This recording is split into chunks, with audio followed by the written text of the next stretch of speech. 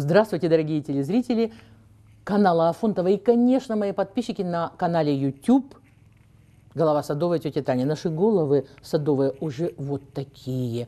И сейчас скажу, почему.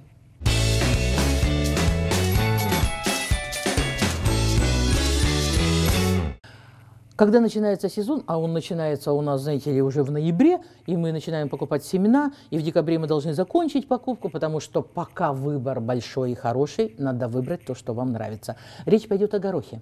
Конечно, речь пойдет о горохе, и вы задаете много вопросов, какие из них надо приобрести. Вот я снимаю с витрины именно те, которые бы вам понравились. Вы какой хотите горох? Чтобы он был выше вас ростом? Или все-таки был невысокий, но сладкий и много? Вот это самый большой вопрос.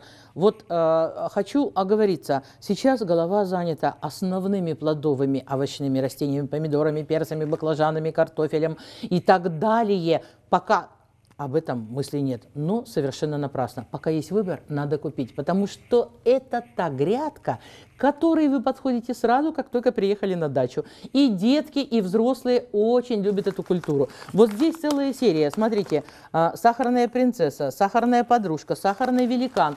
То есть великан это говорит о том, что у него лопатка очень длинная, и у этих, кстати, тоже. И, конечно, горох очень сладкий. Его можно консервировать, из него можно готовить супы, протертые, не протертые. Вот все что угодно, гарниры. И помните, кто ест много гороха, не болеет диабетом. Запомнили? Вот в этой серии их еще сахарное чудо, сахарный дружок, сахарный сладкий жемчуг. А, то есть, но э, гороха много. Но это высокий горох, вот такой, и ему нужны опоры. Кстати сказать, горох и бобы вы будете сеять на убывающей луне и очень рано, когда и почва еще не прогрелась. Тогда э, он себя очень хорошо чувствует. Но среди горохов есть и невысокие. Некоторым нравятся ползунки. Вот такой горошек. А, но я предпочитаю такие сорта гороха, как э, дерзкий и оксайский. Чем они хороши? Оксайский примерно э, сантиметров 70, вот такой. Сначала листья, листья, листья, кудряшки, кудряшки, кудряшки, и в верхней части сплошной цвет, сплошные лопатки. Он небольшой, он сладкий, он прекрасно консервируется, его не валит ветер, дерзкий вообще сантиметров максимум 35-40, у него тоже одни кудряшки, у основания немного листьев, а потом сплошные лопатки. Но этот все-таки превосходит и по длине лопатки, и по сладости своей. А мы, как маленькие дети, куда взгляд не бросишь, надо бы побежать посмотреть там, как помидоры, а ноги идут все равно к грядке с горохом. Сладкий гигант. Посмотрите, он какой интересный. А, амброзия. Тоже очень интересно. Сейчас объясню, почему лопатки так выглядят. И, конечно, ползунок. Любимец публики. За 7 рублей причем. Значит, э, вот выбирая такой горох, вы должны знать, что вот эти горохи можно замораживать, у них нету этой жесткой части на лопаточке, да, вот этой вот шнурочка такого, который не жуется никак, но это можно употреблять вот в таком виде. И зимние ваши супы, и борщи, и щи с добавлением гороха будут просто замечательными. Это дает такой насыщенный вкус, такое удовольствие ни с чем не сравнимо. Это же белок растительный. Его же нету в мясе, его нету э, там э, в картофеле э, в особом количестве. А здесь-то он есть. Это то, что организму надо. Нам не свинина нужна, а вот такой вот нужен белок.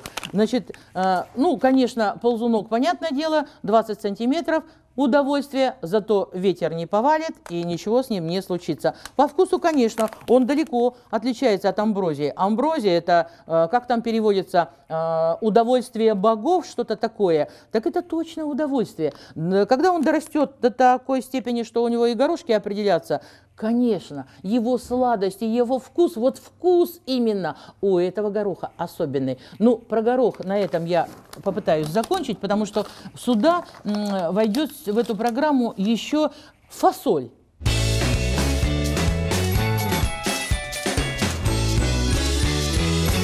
Остановлюсь на фасоли буквально пару минут.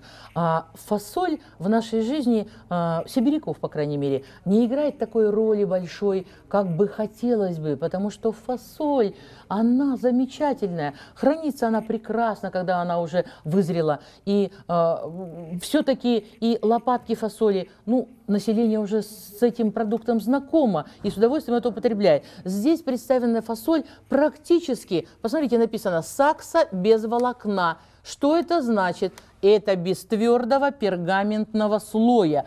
То есть, собрав фасоль зеленой лопаткой, как это называется, стручок зеленая лопатка, вы можете порезать и заморозить. И зимой в гарнир, э, это пожаренная с морковкой, капусткой. Вы знаете, как это вкусно? А еще сливочками чуть-чуть. Да вообще просто мозги можно себе съесть. А, смотрите, цвет какой. Фиолетовый, желтый, зеленый, а, такой желтовато-красный. Вот, обратите внимание, видите какой? И это тоже говорит о том, что вот в створках этой фасоли, а мы молодые лопатки все это морозим и режем, находятся вот те самые а, антиоксиданты, которые нас защищают от болезней, страшных болезней. Поэтому фасоль на даче обязательно. Если фасоль написана кустовая, значит она невысокая, сантиметров 40. Если написано жердевая, жердь – это палка высотой 3 метра, значит она вьющаяся. На некоторых написано, но на некоторых так и написано жердевая. Значит, э, выбирая опять, вы все должны держать в голове и помнить, что вам нужно. Здесь представлены еще некоторые виды фасоли, которые нам не знакомы. Вигна – Вигна – это тоже разновидность фасоли, но ее лопатки будут превосходить все ваши ожидания. Они могут быть и по 50 сантиметров. Зеленая масса лопатки, нежная, сладкая, прекрасно морозится. И количество на кусте таких лопаток тоже превзойдет э, все ваши фантазии.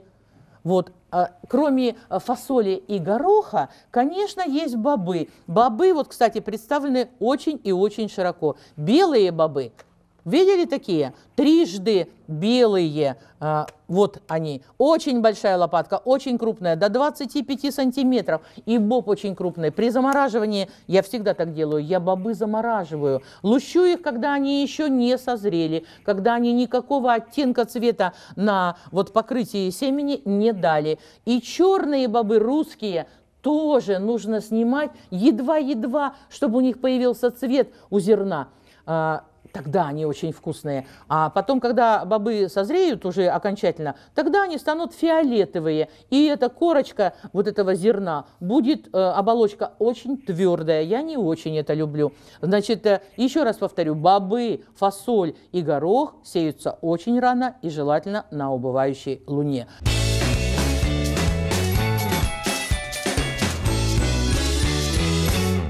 Приобретая семена этих культур, гороха, фасоли и бобов, откройте сразу пачки, когда придете домой, и посмотрите, нет ли на них такого, знаете, точечки, как будто туда кто-то вгрызся. И если есть, тщательно уберите эти семена, можете их выкинуть. Скорее всего, они поражены зерновкой. Есть такой маленький вредитель. А, чтобы не не распространить это на собственной даче, а это э, маленькое э, такое противное существо, оно потом поразит все ваши посадки э, таких культур, вы будете опечалены. Выберите тщательно. Касается и гороха, и фасоли, и бобов. Ну, на этом пока все. Всего доброго вам и до свидания.